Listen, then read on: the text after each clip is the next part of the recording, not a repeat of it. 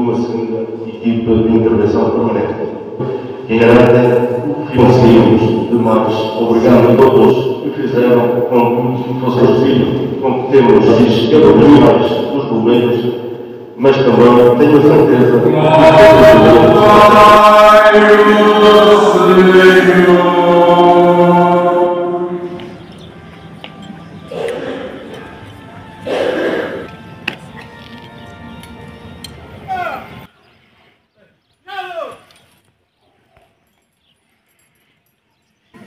proximidade e auxílio.